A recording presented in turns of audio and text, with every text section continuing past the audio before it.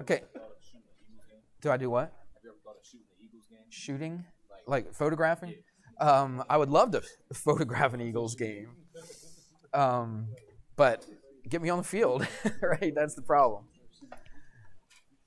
Are you allowed to photograph in this game? No, you can't even. They stop. One time I went to a preseason game and I had a camera with a long lens on it, and they stopped me at the gate. They wouldn't even let you come in because they won't let you have like professional lenses and cameras, even in the stands. So, because I guess I don't know security, I'm sure. Okay, look, we're going to do one more example. Um, it's kind of what we did yesterday, but with just a little bit of a added thing to it. All right, so it's very similar to what we did yesterday. Oops, there goes my pen. Why do I keep doing that? So this is example five. Bless you.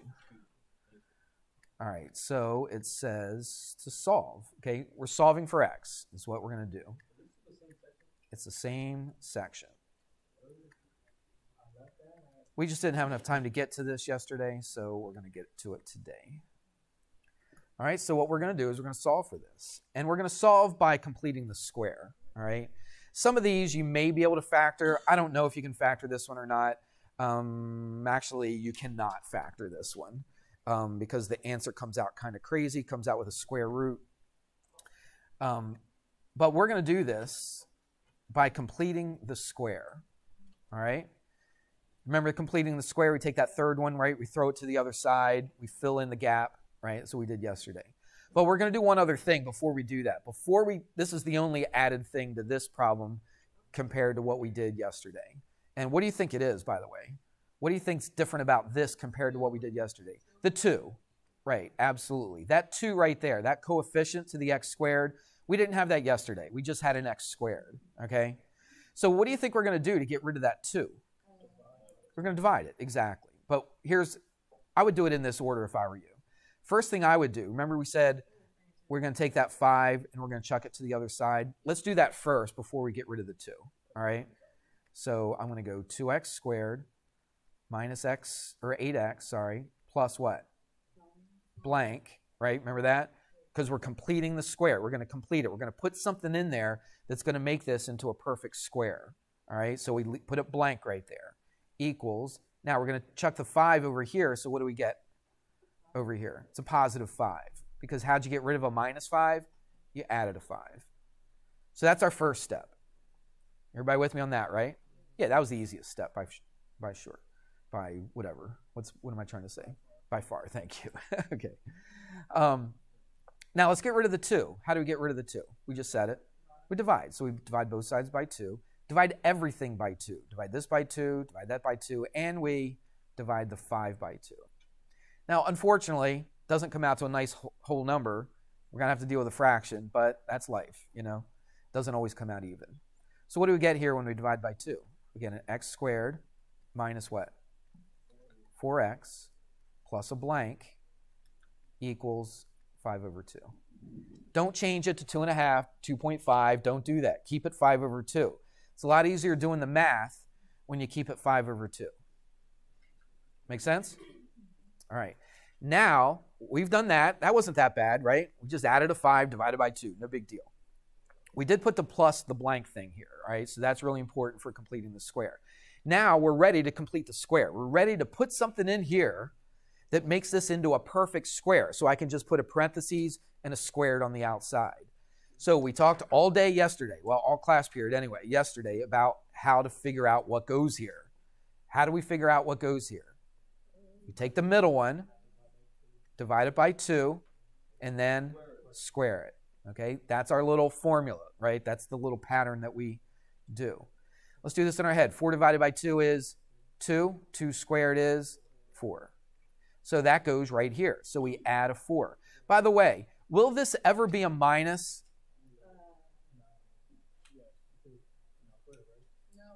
Exactly right, because it's always going to be plus, because, and that was the next question I was going to ask, is why is this always going to be plus? Because in order to figure out what goes here, we take half of a number, then we square it. If we square a negative, we always get a positive. If you square a positive, you get a positive. So this will always be positive. So I can always put plus blank. Make sense? Okay. Gage, you have a question? I answered it. Now, I can't just add a 4 to the left side just arbitrarily. What do I have to do? I got to add a 4 to the other side. Now, this is a fraction, so I'm going to put it over 1. Is that all right? This is all familiar, right? Nothing too crazy. All right, let's scooch it up a little bit right here. Give me some room. Now, I completed the square. I made this so that it's a perfect square. So now this thing right here, I can write as a perfect square. What does that mean, a perfect square? It means a parentheses and a squared on the outside. So what goes inside here now?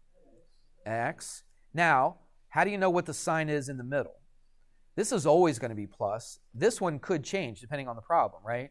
So whatever this sign is, that's what you're going to put right there. Can you remember that? Because this one's always going to be plus. This is the only one that could change, right? And so depending on whatever that sign is right there, that always goes here. So if it was a plus, you'd put a plus. If it's a minus, you put a minus. What goes right here? 2.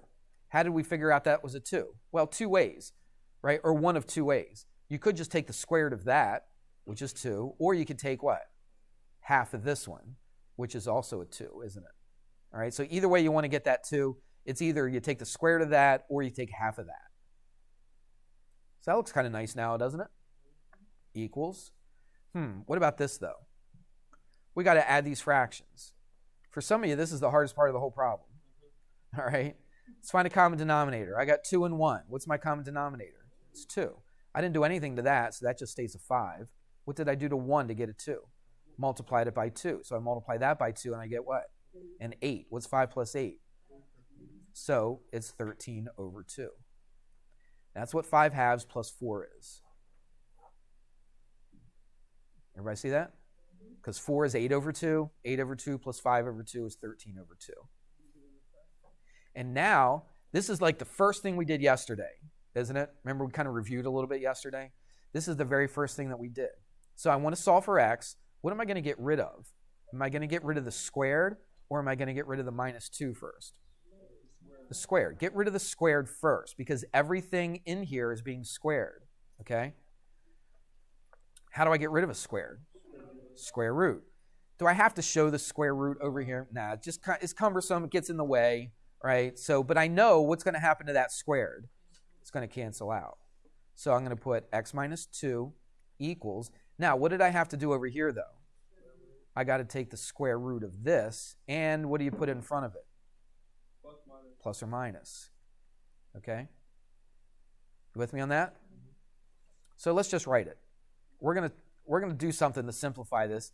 This is a little bit can't remember if we did this in here or not. Did we simple? Yeah, we did this, didn't we? Yeah, because we said we can't have a square root on the bottom. I remember doing that stuff. Yeah, so we have done this so it's not brand new, but I'm going to write it like this for right now.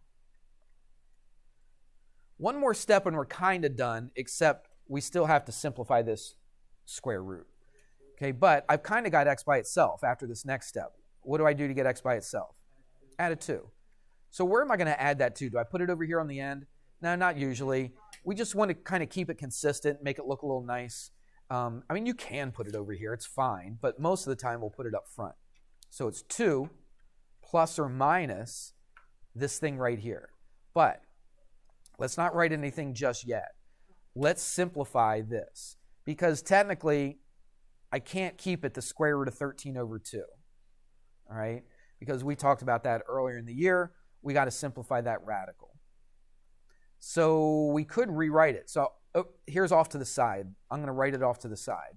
So the square root of 13 over 2 is equal to, do you remember the rule for this? It's the square root of 13, and it's also the square root of what? 2. So I'm going to write it, I'm going to split it up. I'm going to take the square root of 13 over the square root of 2. Is this coming back to you? Yeah, we did this.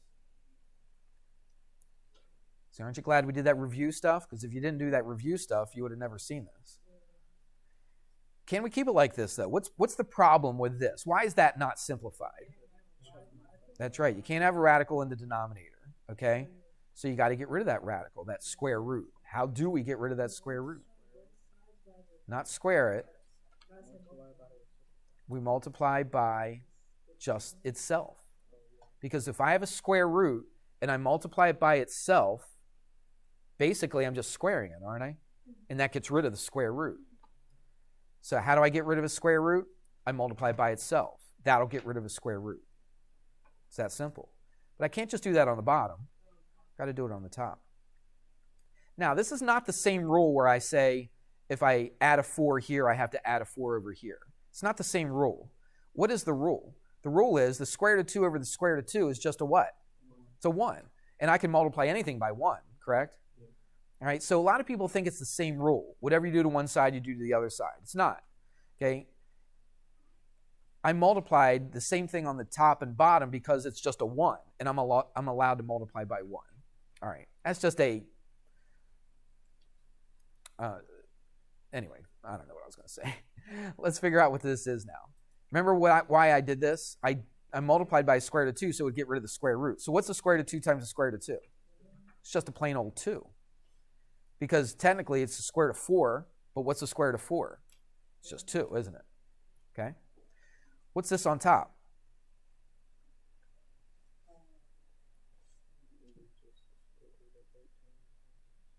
Well, what's 13 times 2? 26. So it's just the square root of 26. So this right here, the square root of 26 over 2, is the same exact thing as the square root of 13 halves. If you wanted to put it in the calculator and test it, you can, whatever your decimal is. It's the same exact thing. All right? So this is a much better way to write it. And this is the way I'm going to make you write it, okay? Because if you don't, you're not going to get credit for it. That right there is your answer. And we'll circle it. What do you think? There might be some like this. There might be some like this. That's why I wanted to do this first before I actually officially assign the homework. What do you think? Yeah, this one was a little, it had a couple extra steps. I mean, the dividing by two part, was that really a big deal? Nah, that wasn't a big deal. It was getting this when it came out to a fraction. Yeah, that was that was the part that you had to think about a little bit. But hopefully you wrote this down, and then when you do the homework, what do you do? Refer back to your notes, right? That's why you take notes, okay? So you can refer back to it. All right, it's too much trouble going through the video and finding out where I taught it and then watch me teach it on the video. All right, it's way better if you just look at the notes that you wrote down and then you see all that stuff. You're like, oh, okay, I see what he did there. I'm going to do the same thing on the homework. Everybody good? Yes. All right, let me write the homework down. I know I gave it to you already, but I'm going to write it down. So it is uh, section 1 2. And I think it's B. I think it's the second part. And it's page 107. Numbers 35 to 46. Now remember, this is the first time all year, I think. You're going to do them all. You're not just doing the odds. Okay, you're doing them all. And uh, yeah, that's your homework right there. So you got what, 15 minutes? You got 15 minutes on Wednesday. Or it's quarter after, right, on Wednesdays? All right, so you got 15 minutes. Let's get started on it. Keep your notes out. I'll walk around if you need some help. Let's everybody work on it. Okay, you do have 15 minutes. This is not just a time to close everything up, just sit there, wait till class is over. Let's actually work on this. Everybody good?